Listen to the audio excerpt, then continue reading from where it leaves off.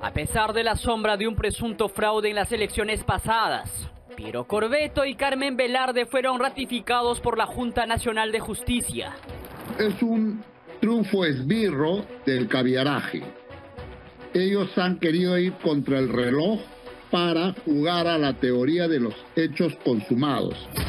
Abogado constitucionalista Wilber Medina asegura que esta decisión desesperada se debe a que el Tribunal Constitucional resolverá la demanda competencial a favor del Congreso.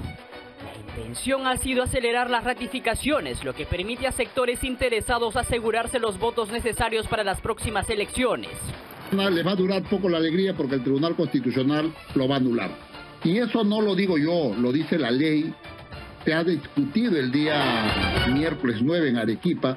Efectivamente, el propio procurador del Poder Judicial reconoce en esa audiencia que si el TC declara fundada la demanda competencial, se declaran nulos todos los actos donde participaron Tello y Vázquez, incluido la ratificación de Corbeto y Velarde.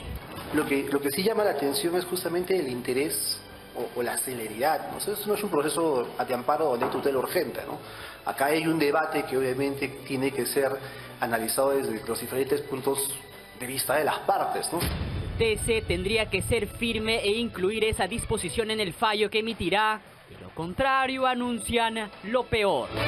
Estamos ante un fraude anunciado, anunciado. Entonces, por favor, tenemos pues dos años y no vamos a, a pecar de ingenuos algunos que quieran sacar Yo hago un llamado realmente a las fuerzas democráticas.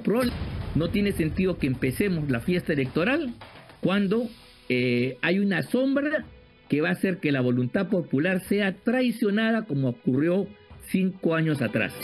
Esta incertidumbre electoral de autoridades tan cuestionadas y decisiones antojadizas. Se espera un pronto pronunciamiento del máximo intérprete de la Constitución.